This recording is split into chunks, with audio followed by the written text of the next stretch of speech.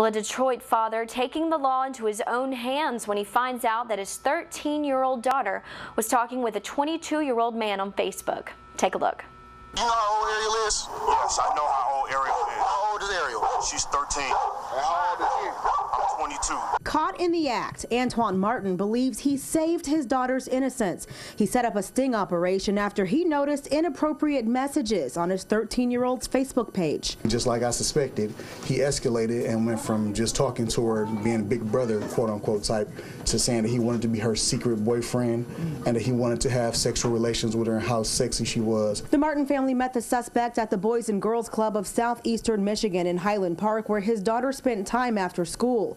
Posing as his daughter, Martin accepted the suspect's invitation for a personal visit, but he had something else in mind. Once he came and walked in the house, I, I grabbed him.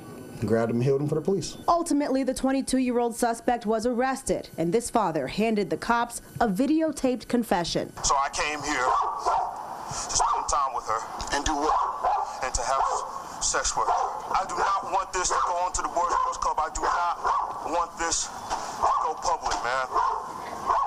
I'm sorry. I swear to sorry. He's supposed to be there to help the kids. He said he has a problem and he had a thirst, is what he said, and that he wanted to try to get help, and this would be the last time. The kids might not be happy about it, but go through that stuff. Make sure that, that you know what's going on. It's very important. The suspect is still in police custody and has not been arraigned.